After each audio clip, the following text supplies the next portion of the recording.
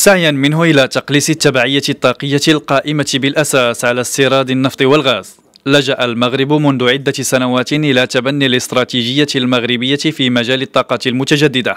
والتي فتحت له المجال أمام العديد من الفرص الاستثمارية من خلال الانخراط في مشاريع كبرى لتطوير هذا القطاع. استراتيجية تهدف إلى زيادة حصة الطاقة المتجددة إلى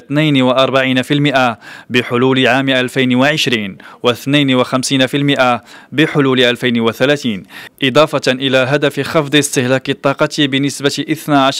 12% بحلول 2020 و15% بحلول 2030 من خلال كفاءة استخدام الطاقة. هذا الانتقال الطاقي يتاح في ظرف قياسي تقليص التبعية الطاقية من حوالي 98% سنة 2008 إلى حوالي 93.3%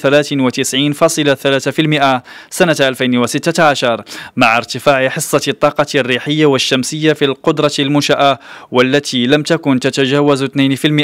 بداية 2009 إلى 13% سنة 2016 أهداف طموحة تحققت بفضل تنفيذ عدد كبير من المشاريع بدءا بافتتاح أكبر مجمع للطاقة الريحية بالقرب من مدينة طرفايا سنة 2014 وصولا إلى إطلاق المرحلة الأولى من أكبر مجمع للطاقة الشمسية في العالم نور واحد بمدينة ورزازات بداية 2016 والذي من المتوقع أن يولد الطاقة لمليون منزل ويرتقي بالمملكة إلى مصاف القوى الكبرى في هذا المجال. فضلا عن المشاريع الأخرى في مجال الطاقة الريحية والمائية. كما تعتزم المملكة بناء محطة جديدة تفوق قدرتها 800 ميجاوات من الطاقة الشمسية. الاستراتيجية المغربية في مجال الطاقة المتجددة تهدف أيضا إلى إنجاز البرنامج الريحي لإنتاج الكهرباء بقوة 2000 ميجاوات عن طريق المكتب الوطني للكهرباء والماء الصالح للشرب بحلول عام 2020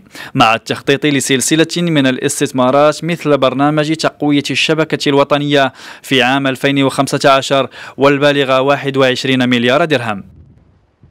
هذا وتحرص المملكة على أن تكون هذه الاستراتيجية قائمة على الاستخدام الرشيد للطاقة وعلى حماية البيئة والحد من التغيرات المناخية والتنمية المستدامة بفضل السياسات الفلاحية والصناعية. وهو التوجه الذي مكنها من أن تحتل الرتبة السابعة عالميا في مؤشر الأداء لتغير المناخ سنة 2016